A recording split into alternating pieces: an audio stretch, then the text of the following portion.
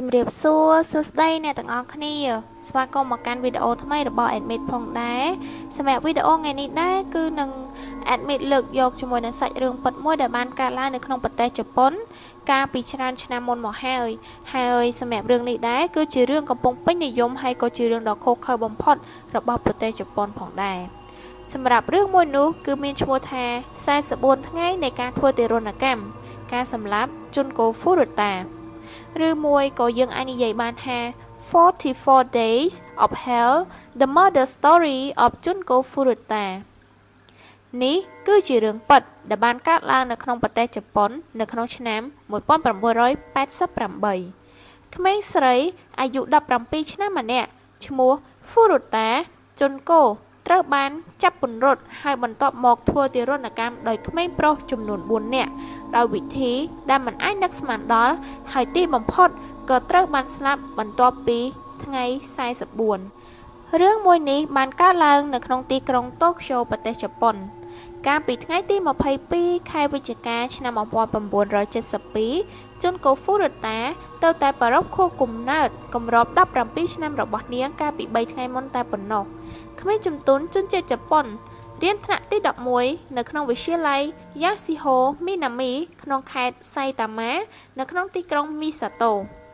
នៅថ្ងៃទី25ខែវិច្ឆិកាឆ្នាំ1988 ជនកូបានចាក់ចេញពីសាលាហើយកំពុងតែដើរទៅផ្ទះទោះបីជាមានរបាយការណ៍ខ្លះនិយាយថានាងកំពុងតែដើរចេញពីរៀនបន្ទាប់ពីនាងបញ្ចប់ពីកិច្ចការសាលារបស់នាងក៏ដោយ។ប៉ុន្តែសម្រាប់ចាប់ពីថ្ងៃនោះមកគឺនាងមិនបានទៅដល់ផ្ទះរបស់នាងនោះទេនាងត្រូវបានក្រុមយុវជនចាប់ចម្រិតនៅក្នុងនោះមានក្មេងប្រុសអាយុ17ឆ្នាំម្នាក់ដែលត្រូវបានគេកំណត់អត្តសញ្ញាណថាជាជោ ហើយក្រោយមកត្រូវបានគេដាក់នាមត្រកូលថា កាមីសាគូពួកគេបានឃុំឃាំងនាងនៅក្នុងផ្ទះដែលជាកម្មសិទ្ធិរបស់ឪពុកម្ដាយរបស់កាមីសាគូនៅក្នុងសង្កាត់អាយ៉ាស៊ីនៃទីក្រុងអាដាស៊ីនៅក្នុងក្រុងតូក្យូនេះគឺជាការចាប់ផ្ដើមនៃការធ្វើទារុណកម្មរយៈពេល44ថ្ងៃរបស់នាង នាងមិនបានស្គាល់អ្នកដែលចាប់ពន្រត់របស់នាងនោះទេ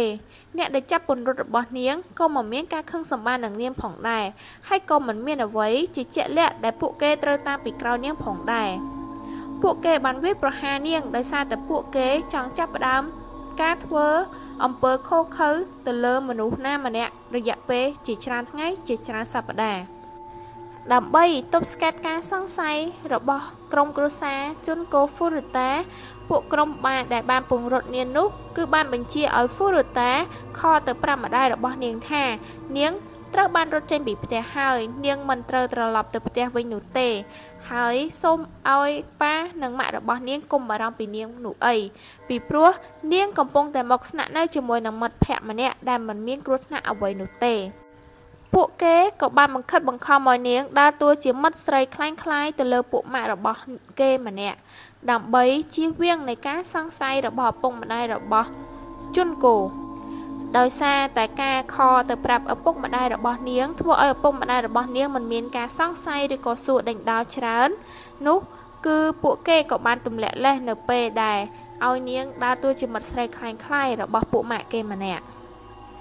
រូបភាពទី1 គឺជារូបភាពអ្នកដែលបានចាប់ពន្រត់ជន់គោដែលមិនបានស្គាល់អត្តសញ្ញាណចំនួន3នាក់ហើយគឺជាផ្ទះដែលជន់គោត្រូវបានគេចាប់រំលោភផងដែរហើយព្រមទាំងធ្វើទារុណកម្មអស់រយៈពេល44ថ្ងៃនៅក្នុងផ្ទះនេះដែរនាងត្រូវបានស្លាប់តែម្នាក់ឯងនៅថ្ងៃទី1គឺជាថ្ងៃទី22ខែវិច្ឆិកាឆ្នាំ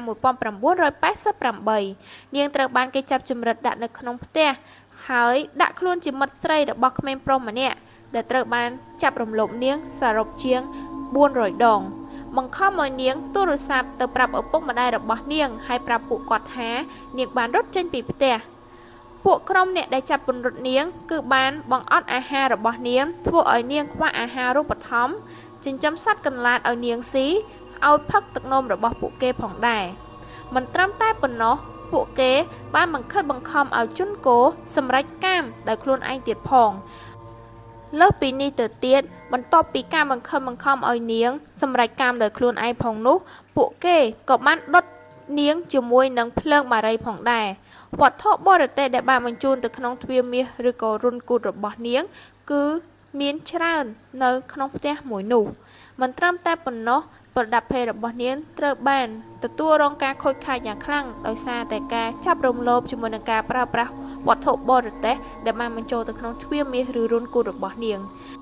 នៅថ្ងៃទី11ចំថ្ងៃទី1ខែធ្នូឆ្នាំ1988នាងត្រូវបានពួកគេវាយដំយ៉ាងធ្ងន់ធ្ងររាប់មិនអស់ប្រឈមមុខជាមួយនឹងការដេកដីបេតុងដៃរបស់នាងត្រូវបានចងជាប់ជាមួយនឹងពីដាននិងដងខ្លួនរបស់នាងត្រូវបានប្រើជាថង់ដាល់ច្រមុះពោពេញទៅដោយឈាមយ៉ាងច្រើន ដែលនាងអាចដកដង្ហើមបានតែរយៈមាត់តែប៉ុណ្ណោះ។ នៅថ្ងៃទី10ខែធ្នូឆ្នាំ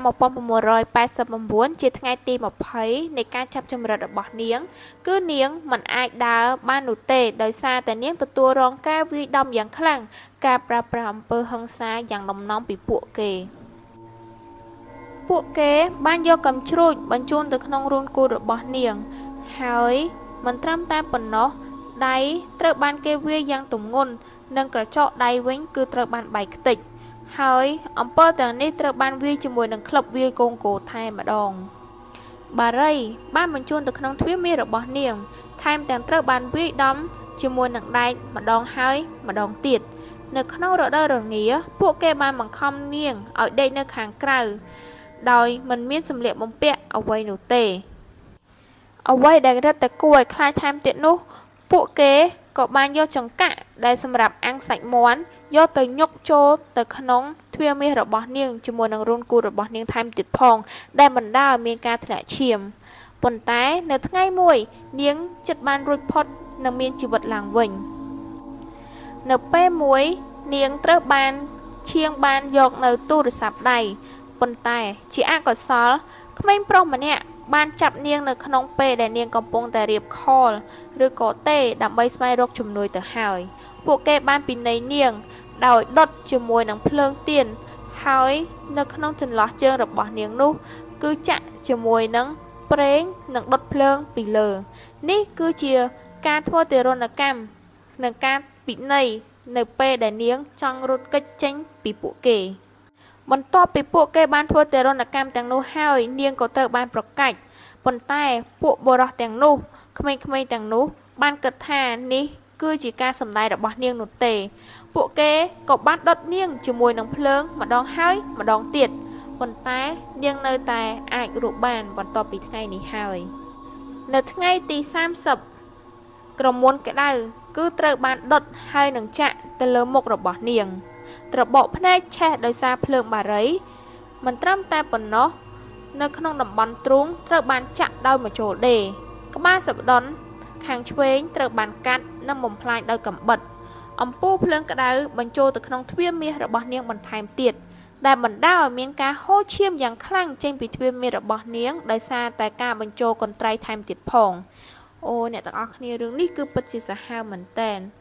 ដោយសារតែការធ្វើទារុណកម្មបែបនេះហើយទើបធ្វើឲ្យនាងមិនអាចបត់ជើងតូចបានត្រឹមត្រូវនោះទេ របួសធ្ងន់ធ្ងររហូតដល់ពេលជាងម៉ោង1នាងក៏បានលូនចុះមកក្រោមហើយចូលទៅបន្ទប់ទឹក ត្រចៀករបស់នាងក៏ត្រូវបានខូចធ្ងន់ធ្ងរនៅថ្ងៃទី30នាងបានអង្វរឲ្យអ្នកទាធ្វើទារុណកម្មទៅលើខ្លួននាងសម្រាប់នាងតែម្ដងទៅពីព្រោះរាល់ថ្ងៃជីវិតនាងរស់ក៏មិនដូចជាការរស់ត្រឹមត្រូវផងដែរនៅថ្ងៃទី1ខែមករាឆ្នាំ1989 ជនកោស្វាគមន៍ថ្ងៃចូលឆ្នាំថ្មី តែម្នាក់ឯងជាមួយនឹងរាងកាយដែលត្រូវបានរងការវិដំនឹងការធ្វើអំពើហិង្សាទៅលើខ្លួននាងយ៉ាងខូខើដែលមិនអាចផ្លាស់ទីបាននៅនឹងមួយកន្លែងនៅថ្ងៃទី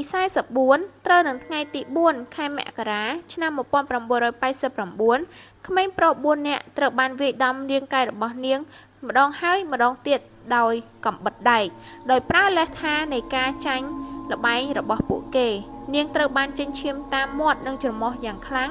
គេក៏បានដាក់ភ្លើងទៀនទៅនឹងមុខរបស់នាងថែមទាំងភ្នែករបស់នាងថែមទៀតផង បន្ទាប់មកវត្ថុរាវស្រាស្រាត្រូវបានចាក់ទៅលើជើងដៃមុខនិងពោះរបស់នាងបន្ថែមទៀតហើយបន្ទាប់មក នាងក៏ត្រូវបានភ្លើងឆេះការធ្វើទារុណកម្មចុងក្រោយនេះមានរយៈពេល2ម៉ោងតែប៉ុណ្ណោះ ជនកូហ្វូរតាបានស្លាប់នៅថ្ងៃនោះដោយការឈឺចាប់នឹងតែម្នាក់ឯងគ្មានអ្វីអាចប្រៀបបាននឹងការរងទុក្ខរយៈពេល44ថ្ងៃដែលនាងត្រូវបានឆ្លងកាត់នោះទេចា៎អ្នកទាំងអស់គ្នានេះគឺជារឿងដែលគួរឲ្យខ្លាចនិងសាហាវបំផុតដែលបានកើតឡើងនៅក្នុងប្រទេសជប៉ុនសូម្បីតែ admin អានជាមួយនឹងថត script ម្ដងនេះ record ម្ដងនេះក៏ admin អានម្ដងទៀតទៅ គឺពិតជាព្រឺព្រួយមែនតែនអញ្ចឹងអឺ ដើម្បីជៀសវាងកុំឲ្យមានរឿងហ្នឹងកាត់ឡើងនៅពេលដែលយើងទៅណាមកណាយើងទៅមានគ្នាឬមួយក៏យើងកុំដើរម្នាក់ឯងកន្លែងណាស្ងាត់យើងត្រូវចេះប្រយ័ត្នឲ្យខ្លួនឯងពីព្រោះថាមនុស្ស នៅក្នុងសង្គមយើងឥឡូវគឺមើលអត់ដឹងទេមនុស្សល្អទៅជាអាក្រក់មនុស្សអាក្រក់ទៅជាល្អក៏យើងអាចថាបានដែរអូខេឥឡូវគឺយើងចប់ជាមួយនឹងវីដេអូហ្នឹងហើយសង្ឃឹមថាជួបគ្នានៅវីដេអូថ្មីដើម្បីទទួលបាននៅវីដេអូថ្មីនិងព័ត៌មានថ្មីថ្មីសាច់រឿងថ្មីថ្មីបន្ថែមទៀតកុំភ្លេចចុច Subscribe follow admit ម្ដងទៀតផងណាហើយជាមួយនឹងការចុច like comment share នៅក្នុង channel មួយនេះផងដែរអរគុណច្រើន